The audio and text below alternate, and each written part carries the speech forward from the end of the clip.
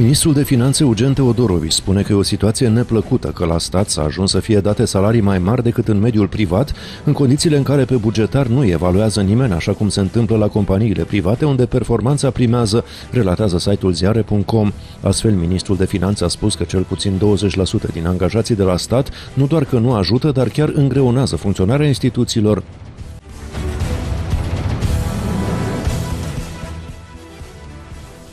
Banca Națională a României a cotat un euro la 4,6206 lei pe unitate, cu 0,02% mai puțin față de ședința de joi. Dolarul american a crescut, fiind cotat de BNR la 3,9908 lei pe unitate, cu 0,27% mai mult față de ziua precedentă și francul elvețian a crescut vineri. Acesta a fost cotat la 4,0102 lei față de joi, când a costat 4,0037 de lei. În schimb, lira a scăzut și a ajuns vineri la 5,1905 lei, față de 5,2026 de lei cât a fost cotată joi. Prețul gramului de aur a scăzut și el. BNR a anunțat că acesta costă 154,9644 de lei față de 155,6655